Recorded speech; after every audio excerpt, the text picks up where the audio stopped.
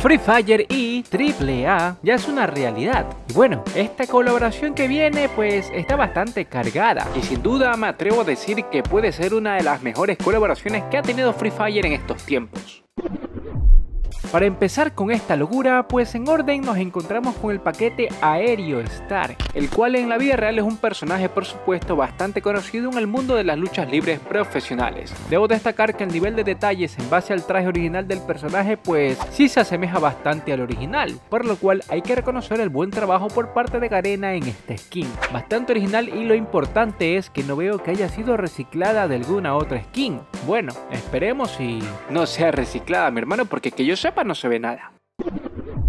Como siguiente en la lista nos encontramos con una máscara llamada Psycho Clown, por supuesto, otra máscara referencia a las luchas libres profesionales, la cual pertenece a su personaje que bueno ya lo dije se llama Psycho Clown el cual pues como pueden observar tiene este estilo particular en sus máscaras y que en este skin pues se asemeja bastante también y resalta demasiado. Una máscara bastante épica la verdad, la cual el usarla genera ese pequeño respeto al enemigo. Una máscara bastante simpática y oscura se podría decir.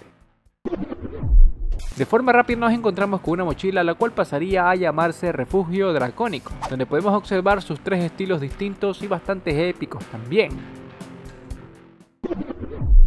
Ahora, algo que muchos van a estar contentos de que llegue serían los puños de fuego, los famosos puños que tanto desea la gente. Y para esta ocasión pues nos encontramos con unos puños llamados en llamas. Y por supuesto al estilo como de lucha libre también. Siendo sincero me gustan. Lo único que no destaco o no comparto es el que tienen un sonido tosco que a la larga pues llega a molestar.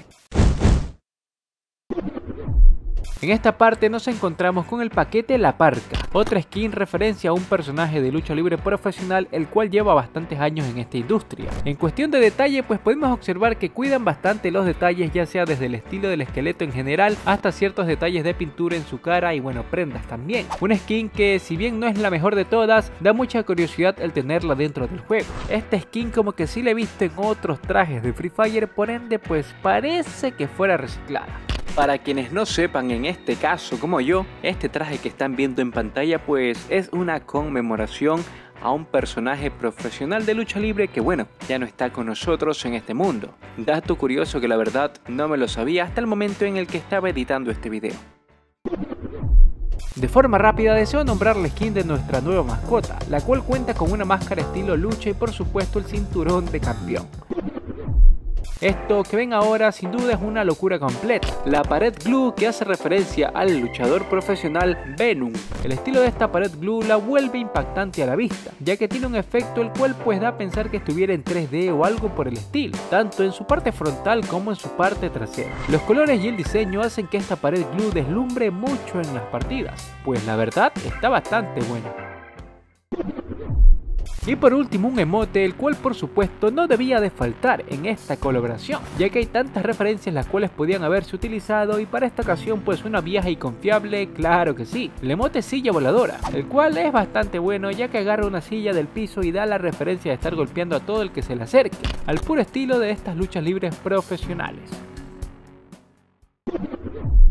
¿Y tú qué opinas al respecto? ¿Te gustaron los trajes de colaboración? Y si es así, pues dime cuál de todos estos objetos desearías tener y por qué. No olviden que si desean alguno de estos trajes, pues próximamente en mis directos de Bulla podré estar sorteando algunos. Los espero, papichulos.